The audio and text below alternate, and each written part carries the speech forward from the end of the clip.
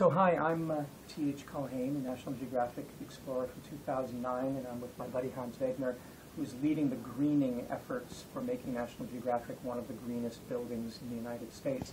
And one thing we've been talking about for a couple of years now is the role that food waste from the cafeteria turned into biogas and fertilizer can play in making our cities better.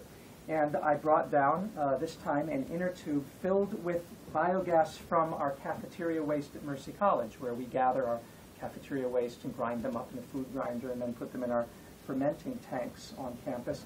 And I carried this down on the bus, on the subway, and uh, down here to, to uh, DC.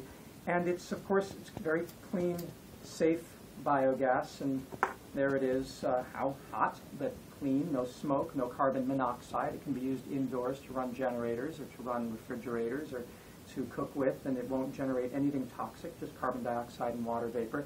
And what I was showing here today is this power pot, which is a thermocouple device, a Peltier or Seebeck device that uses heat differential. So one metal, it's a bimetal. If one side is made hot and the other side is kept cold by the water inside, then it generates an electric current. Sort of like the photovoltaic effect where light dislodges electrons from a semiconductor material this is a bimetal that dislodges electrons when heat is applied to it.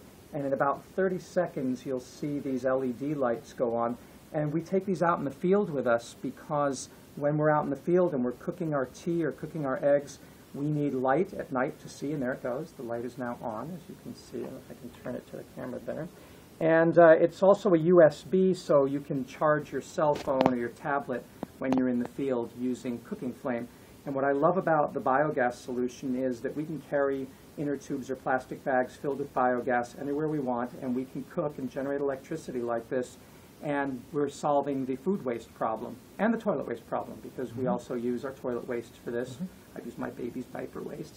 And the idea that these former liabilities can be turned into assets, things that were killing us, literally causing things like bubonic plague because food waste attracted rats with their fleas into cities, or uh, cholera, typhoid, dysentery, all of these dreaded diseases that completely can be eliminated once people realize that all organic residuals are not waste, they're actually raw materials to within 24 hours make biogas, which can be used. And then the fertilizer that comes out is fantastic because that's how we grow the food.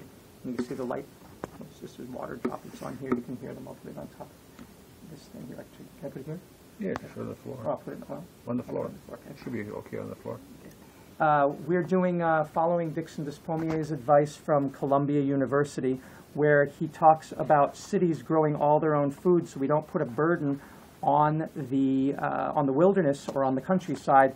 And cities using aeroponics uh, and hydroponics can grow their food if they have a source of good, high-quality fertilizer. That's been the barrier. But now that we can turn the food waste and toilet waste into high-quality fertilizer through the biogas fermenter, that era is over. We can now say that cities can provide all of their food and more efficiently, and that way the countryside could go back to being a beautiful area filled with wildlife where people exist more or less in harmony with that wildlife without shipping all of the nutrients off to the city and causing a net depletion of the fertility of the countryside. So at Mercy College in New York, we're experimenting with tower gardens, and we have several that are, we're growing. And tower gardens can grow through aeroponics seven to 20 times more food per acre than horizontal agriculture.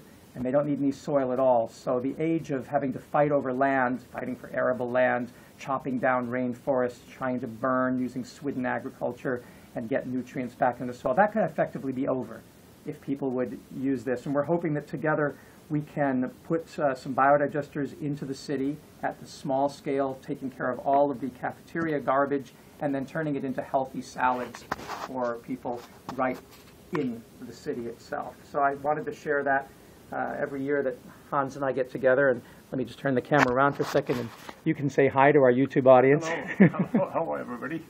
This is exciting stuff. And you've been leading this effort. Your cafeteria is one of the greenest in the city. Well, I hope so. They're getting there. We're making good progress. We compost all our waste there, and so we have uh, no. We our goal is now to have zero waste to landfill, and uh, clearly that's going to. This is a part of that solution. That's fantastic. Well, let's Yeah, hope yeah, yeah. that we can do that. Thanks a lot. So for Solar Cities, I'm T.H. Culhane at National Geographic once again and loving it.